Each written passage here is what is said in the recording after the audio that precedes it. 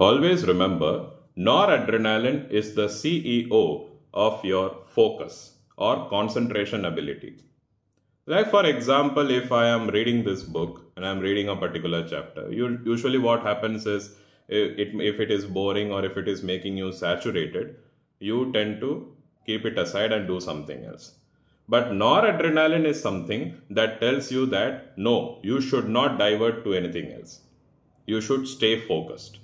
So basically, your thinking capacity improves, your concentration improves, and when you are able to concentrate and when your thinking capacity improves, definitely you will grasp that topic much more better and definitely it will improve your memory in the long run. So let's consider a clinical scenario in which you are taking a medicine that blocks the activity of noradrenaline or it you know um, blocks the release of noradrenaline. For example, clonidine. Clonidine is a central sympatholytic. Its mechanism is it blocks noradrenaline release. So what will happen? This can make you fickle minded. Why? Because when noradrenaline gets reduced, you will not find your attention span will get reduced. You will not be able to focus on a topic for a long period of time. So you will keep on diverting to a lot of things and you will not be able to give the commitment it deserves.